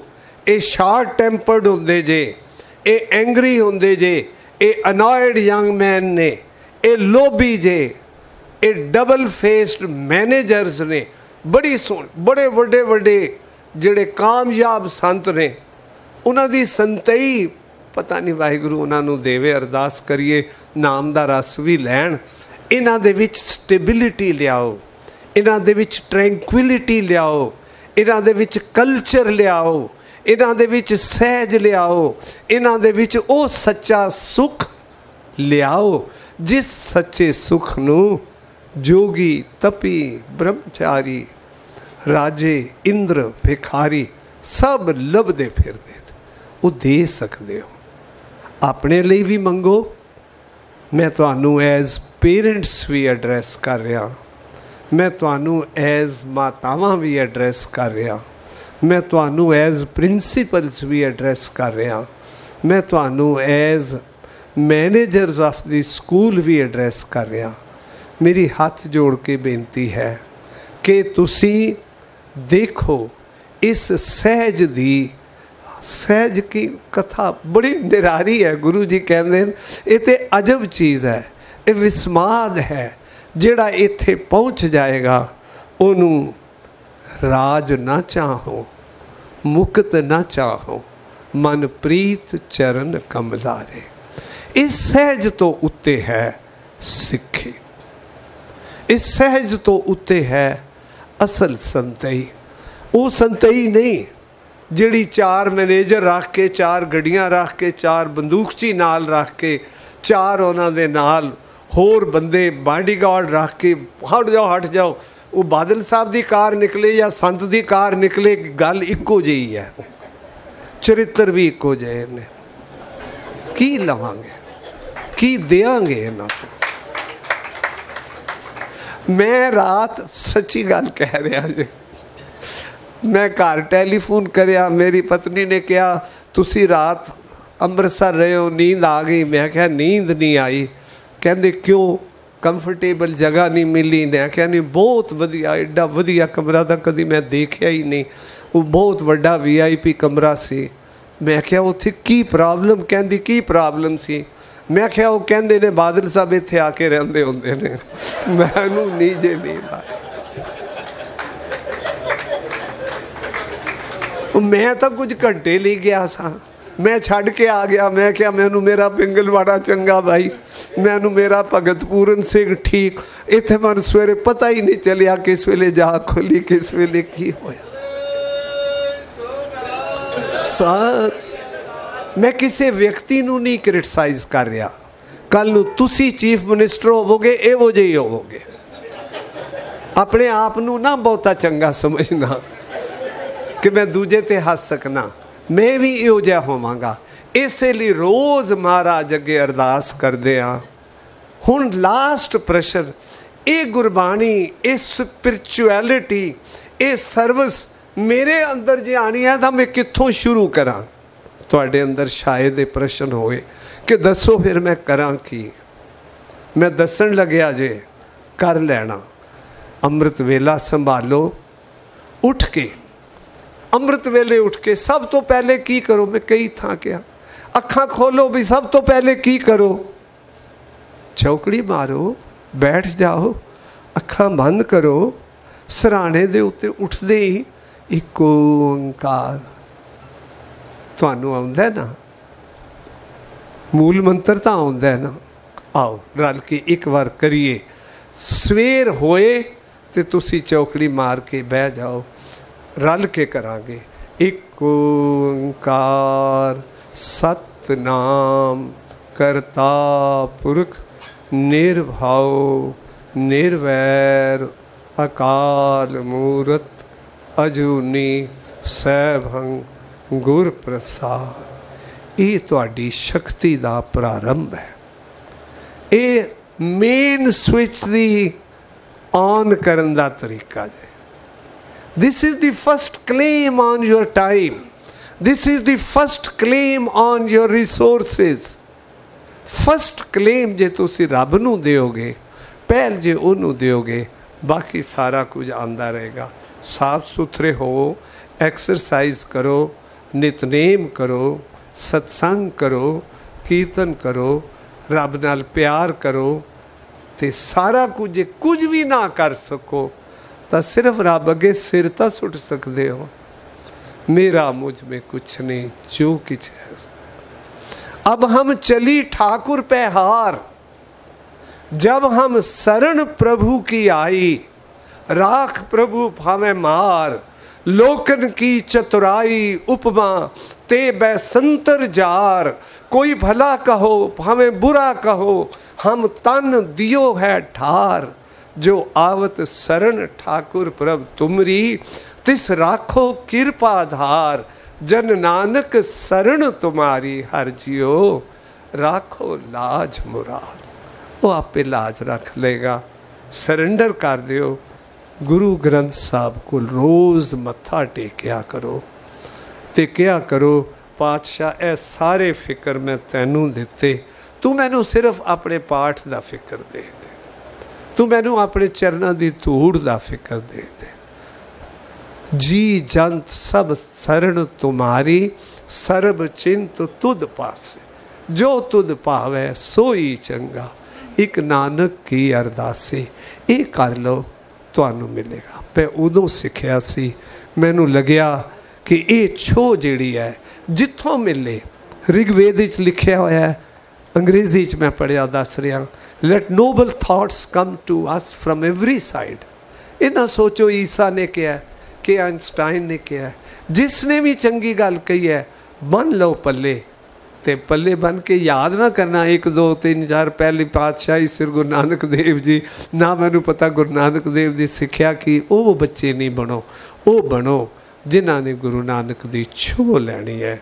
ਇਹ ਡੇਲੀ ਦਾ ਪਾਠ, ਇਹ ਤੁਹਾਡੀ ਆਖਰੀ ਇਲਾਜ ਹੈ। ਇਹ ਇੰਸਟੀਟਿਊਸ਼ਨਸ ਜਿਹੜੇ ਨੇ, ਹਾਲੇ ਬਹੁਤ ਕੁਝ ਕਰ ਸਕਦੇ ਨੇ। ਆਪਣੇ ਥਾਟਸ ਬਾਰੇ ਕਲੀਅਰ ਹੋਵੋ, ਅਸੀਂ ਕਰਨਾ ਕੀ ਹੈ? ਤੇ ਟੀਚਿੰਗ ਫੈਕਲਟੀ ਪੀਟੀਆਈ ਖਾਸ ਕਰ, ਬੜਾ ਵੱਡਾ ਇਨਫਲੂਐਂਸ ਹੈ ਸਕੂਲ ਦੇ ਵਿੱਚ ਪੀਟੀਆਈ ਦਾ। ਮੈਨੇਜਮੈਂਟ ਕਮੇਟੀ ਜੇ ਸਾਰੇ ਹੀ ਕਮਿਟਡ ਸਚਿਆਰ ਹੋ ਜਾਣਗੇ, ਸਿੱਖ ਹੋ ਜਾਣਗੇ ਡੇਲੀ ਪ੍ਰਕਾਸ਼ ਕਰੋ, ਅਰਦਾਸ ਕਰੋ, ਹੁਕਮਨਾਮਾ ਲਓ, ਸਾਰੇ ਸਕੂਲ ਨੂੰ ਇਕੱਠਾ ਬਿਠਾਓ, ਸਕੂਲ ਨੂੰ ਇਕੱਠਾ ਬਿਠਾ ਕੇ ਲੰਗਰ ਛਕਾਓ ਹੇਠਾਂ ਬੈਠ ਕੇ। ਦੋ ਵਾਰੀ ਸਾਰੇ ਸਕੂਲ ਨੂੰ ਹਫ਼ਤੇ ਵਿੱਚ ਕਿਵੇਂ ਉਹਨਾਂ ਦੇ ਵਿੱਚ ਸਤਸੰਗ ਲਿਆਓਗੇ? ਬੋਲ ਕੇ ਲੈਕਚਰ ਦੇ ਕੇ ਨਹੀਂ ਹੋਣਾ। ਇਹ ਕਰਕੇ ਹੋਣਾ ਇਹਨਾਂ ਦੇ ਨਾਲ ਤੁਸੀਂ ਕੰਟੈਕਟ ਰੱਖੋ। ਇਹਨਾਂ ਸਟੂਡੈਂਟਸ ਮੈਂ ਹਾਲੇ ਐਕਸਟਰਾ ਆਰਡੀਨਰੀ ਸਟੂਡੈਂਟਸ ਦੀ ਗੱਲ ਕੀਤੀ ਹੈ। ਉਹਨਾਂ ਨੂੰ ਕਿਵੇਂ ਸਚਿਆਰ ਵਾਲੇ ਪਾਸੇ ਲਿਆਕਤ ਪਲੱਸ ਸਚਿਆਰ, ਸਿੱਖ ਨਲਾਇਕ ਨਹੀਂ ਹੋ ਸਕਦਾ।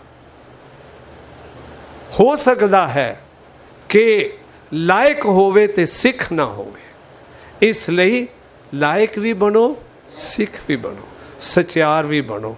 ਇਹ ਸਾਰਾ ਕੁਝ ਜਦੋਂ ਕਰ ਲਓਗੇ, ਮੇਰਾ ਇਹ ਖਿਆਲ ਹੈ ਕਿ let the community own such students nurture such students ਇਹਨਾਂ ਦੀ ਪਲੇਸਮੈਂਟਸ ਲਈ ਅੱਗੇ ਪਿੱਛੇ ਜੋ ਕੁਝ ਕਰਨਾ ਹੈ, ਇਹਨਾਂ ਦੇ ਲਈ ਕਰੋ। ਇਹ ਮੇਰਾ ਸੰਦੇਸ਼ ਹੈ, ਇਹ ਮੇਰਾ ਲੈਕਚਰ ਹੈ, ਇਹ ਮੇਰੀ ਇਲਤਜਾ ਹੈ, ਇਹ ਮੇਰੀ ਅਰਦਾਸ ਹੈ ਕਿ ਆਓ ਰਲ ਕੇ ਅਸੀਂ ਗੁਰੂ ਤੋਂ ਕੇਵਲ ਮੰਗਣਾ ਮੰਗਨ ਨੀਕਾ ਹਰ ਜਸ ਗੁਰ ਤੇ ਮੰਗਣਾ। ਵਾਹਿਗੁਰੂ ਜੀ ਕਾ ਖਾਲਸਾ, ਵਾਹਿਗੁਰੂ ਜੀ ਕੀ ਫਤਿਹ।